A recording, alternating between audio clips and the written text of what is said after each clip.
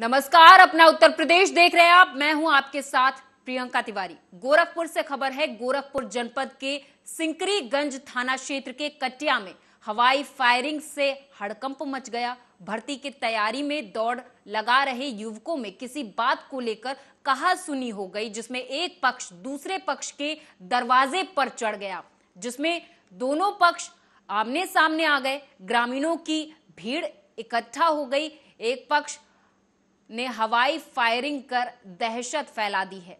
इस दौरान ईंट पत्थर चल गए। फायरिंग से दो लोगों की गोली लग गई है, जिनको इलाज के लिए भर्ती करवा दिया गया है। गाँव है कटिया। यहाँ फोर्सेज में भर्ती होने के लिए बच्चे तैयारी करते हैं। तो इस गाँव के बच्चे भी कटहरा जगह कोई है, जहाँ जाते हैं, वहाँ दौड़ते हैं, आपस में अभ्यास करते हैं। वहीं वेद प्रकाश और जय हिंद, दो ऐसे हैं जिनके बीच किसी बात को लेकर तू तू मैं हुआ, लेकिन वो झगड़ा शांत हो। फिर वहाँ से जब अपने घर आ गए तो वेद प्रकाश के घर पे जय हिंद पक्ष के लोग आए। फिर जय, वेद प्रकाश पक्ष के लोग भी अग्रेसिव हुए, गाँव वालों ने बीच बचाव कर दिया, फिर दोनों लोग दो तरफ़ हो गए। और कहीं किसी तरह का पुलिस को या यूपी 112 को कहीं कोई सूचना नहीं दी गई। फिर वेद प्रकाश पक्ष के लोग अपना दूध वगैरह का कारोबार करते होंगे तो दूध लेके जब निकले तो रास्ते में जय हिंद पक्ष के लोगों ने उनका दूध गिरा दिया, उनके साथ मैन हैंडलिंग की। वो जब घर आए तो फिर उनके पक्ष के लोग एग्रेसिव होकर के गए तो जय हिंद पक्ष के लोगों ने भी फिर दोनों ओर से लड़ाई झगड़ा की बात आई। एक दूसरे के ऊपर पत्थर भी मारे और जय हिंद पक्ष से एक व्यक्ति ने जो बताया जा रहा है कि बीएसएफ के सर्विसमैन हैं, वो अपनी लाइसेंसी पिस्टल से उन्होंने वाराणसी से अगली खबर है, बता दें कि बीडीए और बिल्डरों की मिलीभगत से अवैध निर्माण जोरों पर चल रहा है। जनपद के चौक, कोतवाली, नरिया, भेलूपुर, आदमपुर आदि वार्डों में अवैध निर्माण का कार्य जमकर चल रहा है।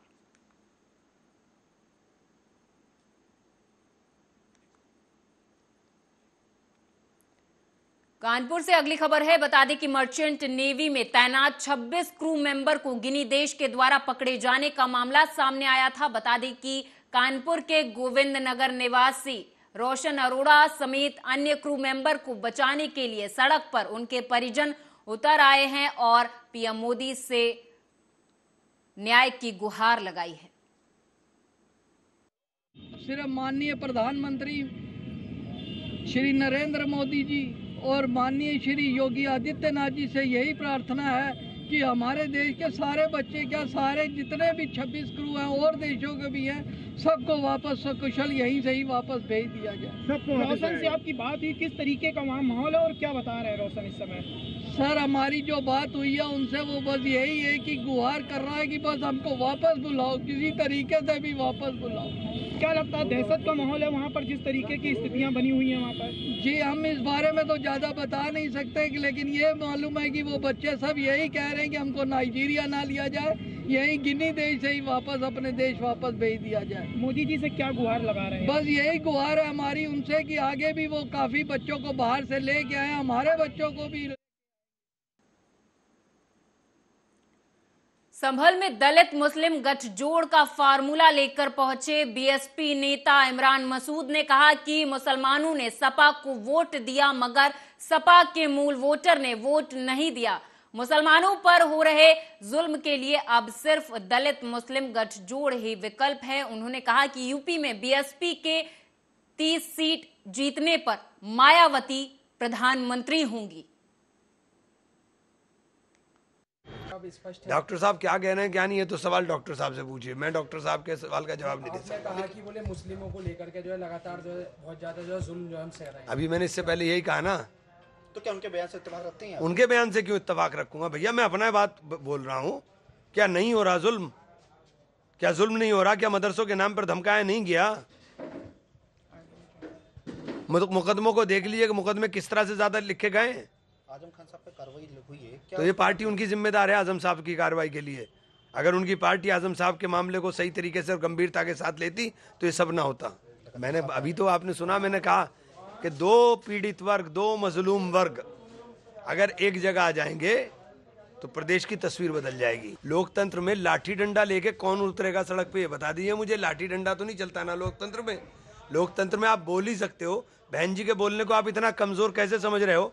मतलब दूसरे नेता ट्वीट करें तो ट्वीट, प्रधानमंत्री ट्वीट करे तो ट्वीट, प्रधानमंत्री कौन सा काम के अंदर जो वादे पूरे करे उन्होंने सड़क पर आकर के पूरा किया? प्रधानमंत्री ट्वीट करे तो ट्वीट, बहन जी ट्वीट करे तो साहब, वो कुछ नहीं कर रही है, क्या बात हो गई साहब? नेता का काम तो यही है ना।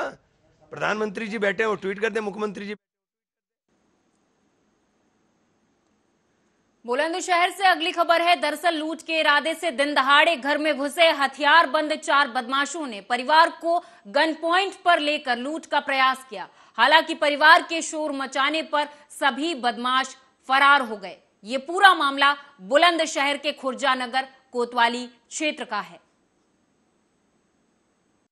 घटना ये हुई है साढ़े तीन बजे का टाइम था और वो चारों यहाँ खड़े हुए थे चारों के हाथ में पिस्टल थी। जैसे मैं हमारी सास को दबा रखा था उन्होंने मैं आई जीने पर उतर के मैंने देखा उन्होंने बाहर की कुंडी लगा दी थी। अब मैंने जाकर ये शोर मचा कर बाहर का दरवाज़ा खोल दिया तो एक ने तीनों मतलब यहाँ से हट के वो मेरे पीछे पड़ गए और पिस्टल जैसे चलाने को हुए तो वो मिस हो गई। कार्टेज वहीं निकला पड़ा था और सास को यहाँ दबा रखा था। एक बहुत बाद में गया निकल के मतलब चार थे। इरादा उनका इरादा लूट करने का था मतलब डकैती डालने का, इसलिए हमारे कमरे का लॉक लगा हुआ, वो उस, इस, उस कमरे में नहीं जा पाए। इसलिए वो यहीं से वापस हो गए मतलब मैंने शोर मचा के दरवाज़ा रायबरेली के सिविल लाइन ओवरब्रिज पर बाइक और साइकिल ऑटो में भिड़ंत हो गई। बाइक सवार ने ऑटो चालक को जमकर पीट दिया मामला। शहर कोतवाली क्षेत्र के सिविल लाइन चौराहे स्थित ओवरब्रिज का है, जहाँ बाइक और ऑटो में भिड़ंत हो गई। भिड़ंत के बाद गुस्साए बाइक सवार ने ऑटो चालक को जमकर बेरहमी से पीट दिया।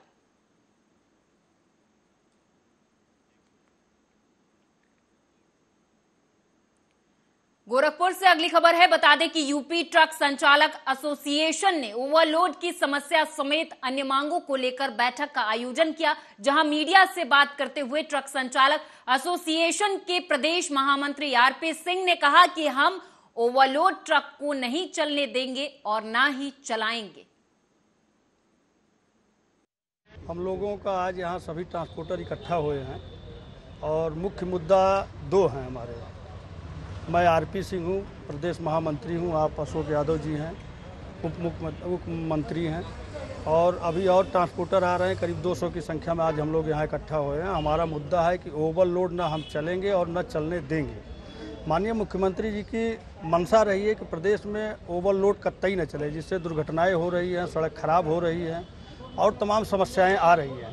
उसको लेकर के उन्होंने हाई लेवल आदेश भी दिया हाई लेवल मीटिंग करके कि कोई भी ओवरलोड नहीं चलेगा और जहाँ से लोडिंग पॉइंट से ही अनलोड कर दिया गया पर आज समस्या आ रही कि हमारे जो अधिकारी गण हैं, उनकी मिली भगत से कुछ ट्रांसपोर्टर हैं, जो ओवरलोड चल रहे हैं और उनके साथ दलालों के साथ मिली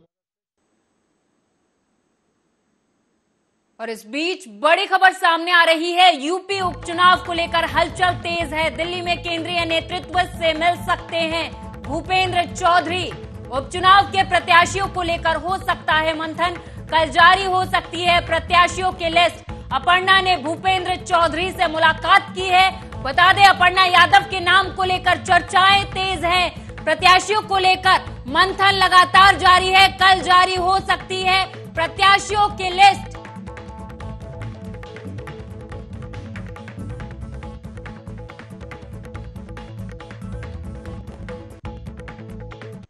वाराणसी से अगली खबर है, बता दें कि रोहनिया क्षेत्र में दरोगा की हत्या का प्रयास और लूट का अपडेट सामने आया है। दरअसल, इंस्पेक्टर रोहनिया विमल कुमार मिश्रा और हल्के के दरोगा को police commissioner A Satish Ganesh ने सस्पेंड कर दिया है।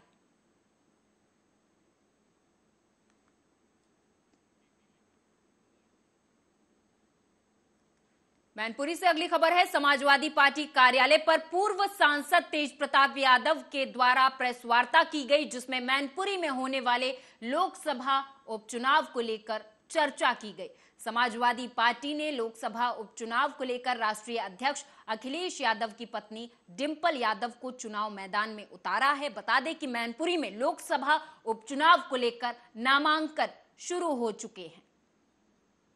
लेकिन जनता उनके इन प्रयासों को नाकाम साबित करेगी। लोगों का मूड है समाजवादी पार्टी के लिए। नेताजी के प्रति लोगों में सम्मान की भावना मैनपुर ज़िले में है और जिस तरीके से चाहे विपक्षी पार्टी के लोग हों, उनको भी नेताजी के जाने का दुख है और हर किसी की पहचान वाली नेताजी से थी।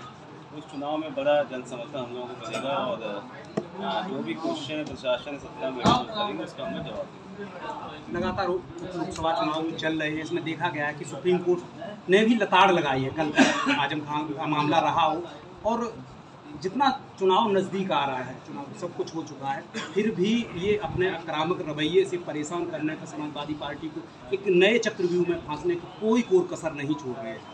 कि जैसा मैंने आपसे कहा, नियम कानून को ताक पर रखे। इस समय देश में काम हो रहा है। आज तक ऐसा नहीं हुआ कि कोर्ट का ऑर्डर आया और 24 घंटे भी लगे उस व्यवस्था को समाप्त कर दिया और जिस तरह आज़म खान साहब पर मुकदमे मुकदमे लगाए जा रहे हैं यहाँ लोग भड़काऊ भाषण दे के खुलेआम घूम रहे हैं, कोई उन पर कार्रवाई नहीं हो रही, वहीं और अब आपको सीधे लिए चलते हैं वाराणसी, जहाँ पर सीएम योगी क्या कुछ कह रहे हैं, आप भी सुनिए। के साथ ही वाराणसी में मल्टी मॉडल टर्मिनल, जनपद चंदौली व मिर्जापुर में विलेज जनपद गाजीपुर में इंटर मॉडल टर्मिनल का विकास भी इसके माध्यम से किया जा रहा है। इंटर मॉडल टर्मिनल पर सड़क परिवहन के माध्यम से उत्पादों को पहुँचा करके उन्हें हम इनलैंड वाटरवे के माध्यम से उनका एक्सपोर्ट कर सकते हैं। और आज जो संभावनाएँ उत्तर प्रदेश जैसे राज्य में बन रही है कि freight corridor, dedicated freight corridor, eastern and western freight corridor दोनों उत्तर प्रदेश से होकर के गुजर रही है। दोनों का जंक्शन उत्तर प्रदेश के अंदर बोड़ाकी में, जहाँ पर हम लोग बड़े पैमाने पर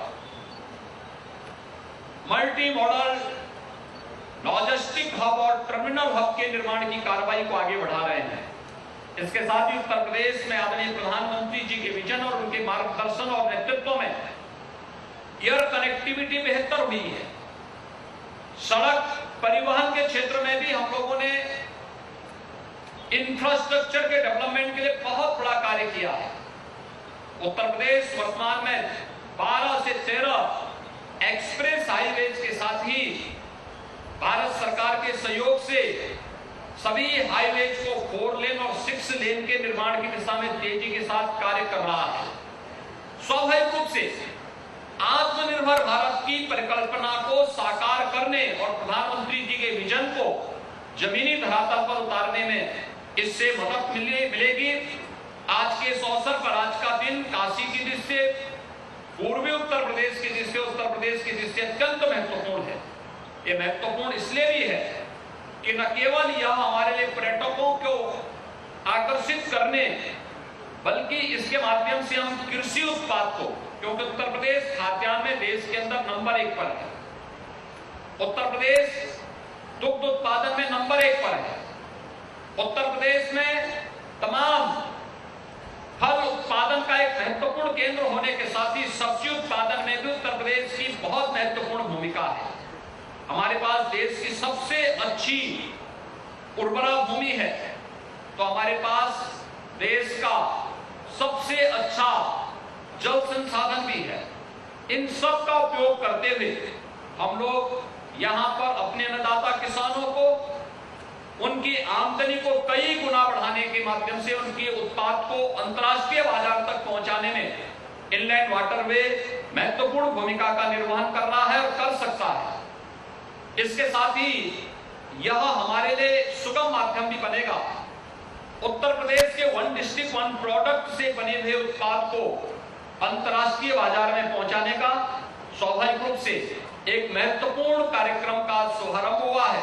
मैं इसके लिए एक बार फिर से उत्तर प्रदेश वासियों की ओर से आदरणीय प्रधानमंत्री जी का हृदय से आभार व्यक्त करते हुए केंद्रीय मंत्री मान्य श्री सर्वानंद सोनोवाल जी को, उनके दोनों सहयोगी मंत्री श्रीपाद मान्य श्री श्रीपाद नायक जी को, श्री शांतनु ठाकुर जी को हृदय से धन्यवाद देता हूँ और मैं उन्हें इस बात के लिए आश्वस्त करता हूँ कि राज्य सरकार, केंद्र सरकार के साथ मिलकर के इस प्रकार की सुविधा को और विस्तार देने के लिए जिस भी प्रकार के कार्यक्रम को आगे बढ़ाने की आवश्यकता पड़ेगी, राज्य सरकार का पूरा सहयोग इन कार्यक्रमों के साथ मिलेगा और मैं विश्वास के साथ कह सकता हूँ कि न केवल यहाँ पर यह किसानों की आमदनी को कई गुना बढ़ाने में मदद करेगा, बल्कि हमारे युवाओं को रोज़गार की ढेर सारी संभावनाओं को भी आगे बढ़ाने में इससे मदद मिलेगी।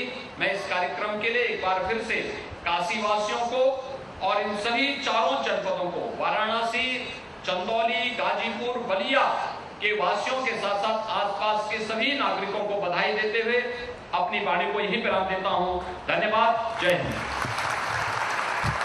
बहुत बहुत धन्यवाद माननीय मुख्यमंत्री महोदय आपका मन हो रहा है मुझे पता है हर हर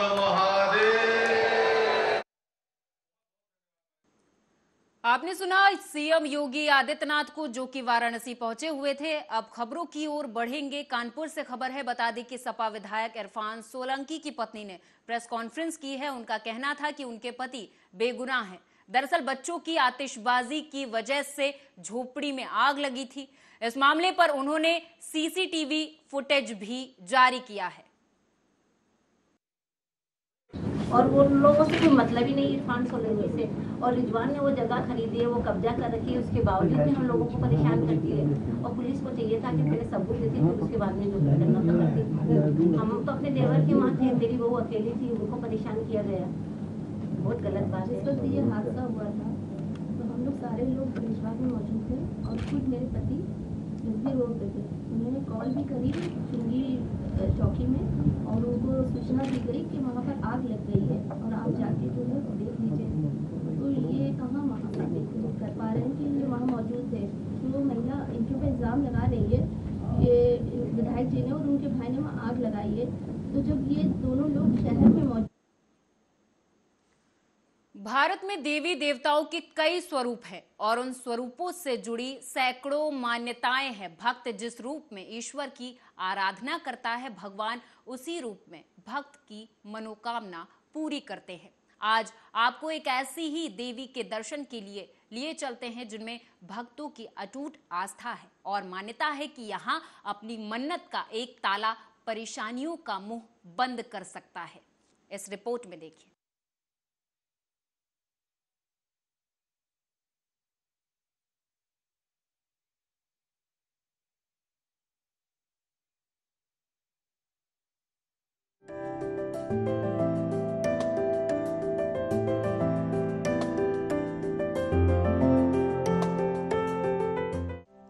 देवी को बंदी देवी के रूप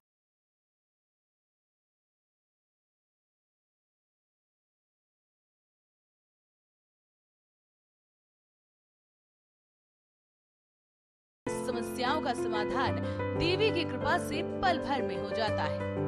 हम बात कर रहे हैं वाराणसी के काशी खंड में स्थित प्राचीनतम मंदिरों में से एक बंदी माता की, जिन्हें पाताल की देवी भी कहा जाता है। लोगों का विश्वास है कि अगर कोई किसी मुकदमे से परेशान है या फिर जेल में बंद है तो बंदी माता आपकी परेशानी हर लेती है। बंदी माता का मंदिर वाराणसी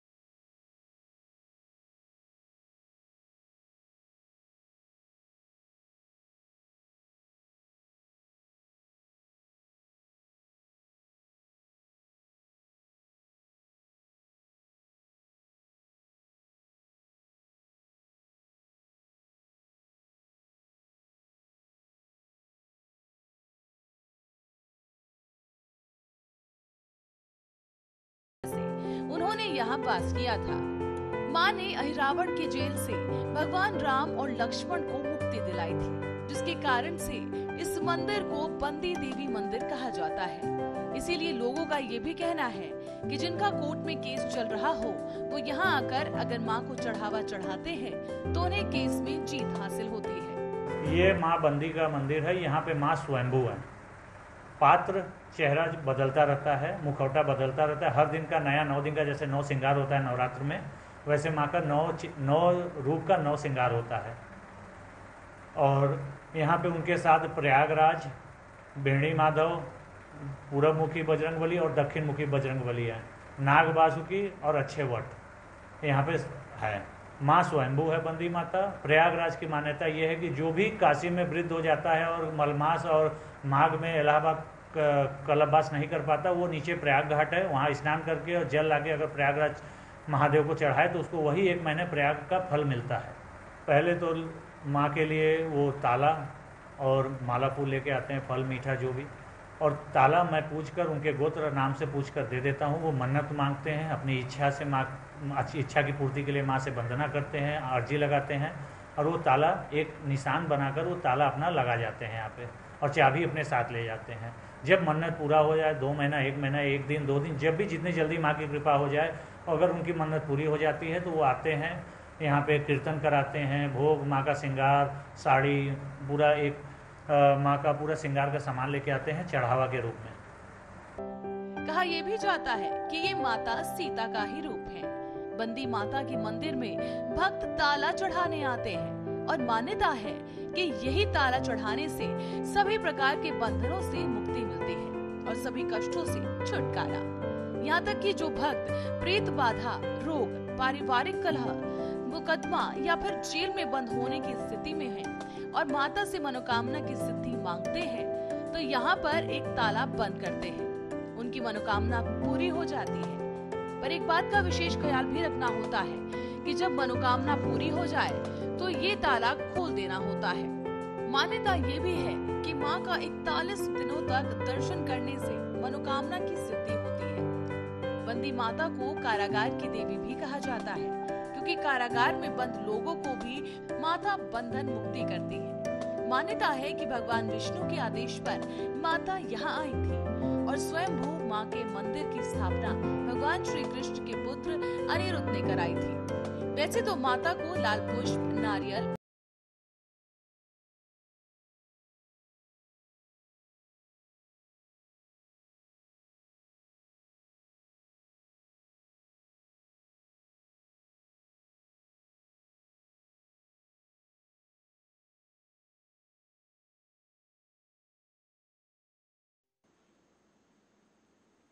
इसी के साथ इस खास पेशकश में मेरे साथ बस इतना ही। आप देखते रहे आर्या न्यूज़